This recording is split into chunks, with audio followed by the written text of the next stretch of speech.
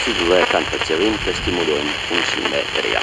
Deputeti ura sunt lottata i certifici che dokumentuar certificaten perspektiv Mässigheterna med konstituera kapacitet kan kontribuer mässigheterna med mässigheterna dietare stabilizza con vita allora kan kontribuer na situaten eran finanziare με presidente Αφέρη σε αντιοθωμάτιση.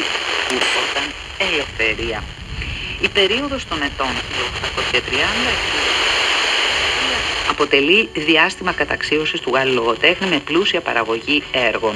Το 1830 ανεβαίνει με μεγάλη επιτυχία το θεατρικό του έργο Ερνάνης. Λίγο αργότερα, το 1831, κυκλοφορεί το διάσημο μυθιστόρημά του «Η Παναγία των Παρισίων».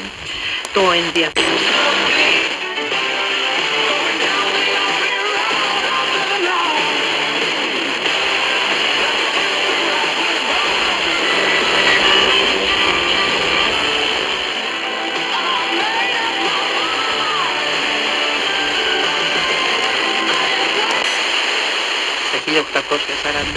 ο Λουδοβίκος Φίλιππος τον ονόμασε α, μέλος της Άνω Βουλής. Εκεί εκφώνησε λόγους ενάντια.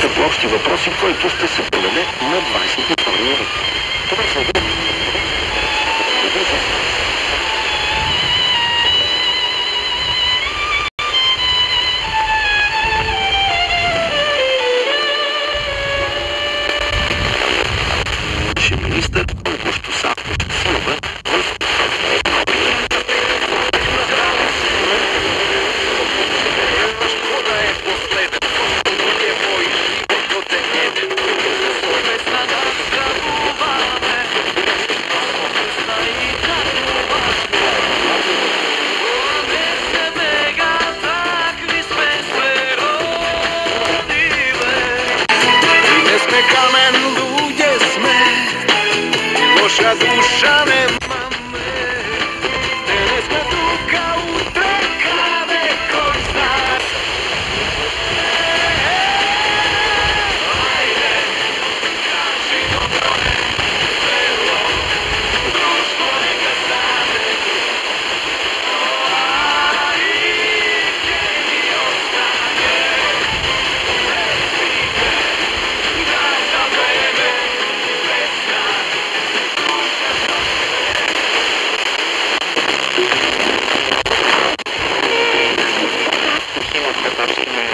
κυκλοφορεί μια βιογραφία του από τη γυναίκα του Αδέλα, η οποία πέθανε πέντε χρόνια αργότερα. Το ξέσπασμα του γαλλοπροσικού πολέμου τον οδηγεί στην επιστροφή στη Γαλλία τον Αύγουστο του 1870, λίγο μετά την ανακήρυξη της Τρίτης Γαλλικής Δημοκρατίας.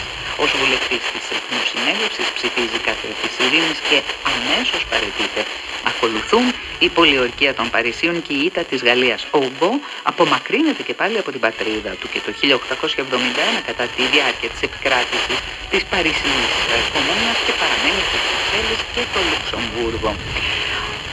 Τον Ιανουάριο του 1876 ο Βίκτορ Ουγκό ονομάζεται ισόβιος γερουσιαστής από τη Γαλλική Δημοκρατία. Την τελευταία αυτή πολιτική περίοδο της ζωής του γίνεται το είδωλο της ριζοσπαστικής αριστεράς. Ο ίδιος Stăm Mindstorm și lucrăm în blocuri, iar acum am trecut pe Python un limbaj de programare mai greu și mai precis. Cum ai ajuns să faci chestia asta? De ce nu faci altceva, nu știu? Am învățat mai multe lucruri de pe internet, am mai învățat și de la alte echipe, ne-au ajutat și ele și pe la fel am mai căutat pe internet când aveam probleme. Pe lângă competiția propriu-zisă în care robotul trebuie să străbată un anumit traseu și să îndeplinească anumite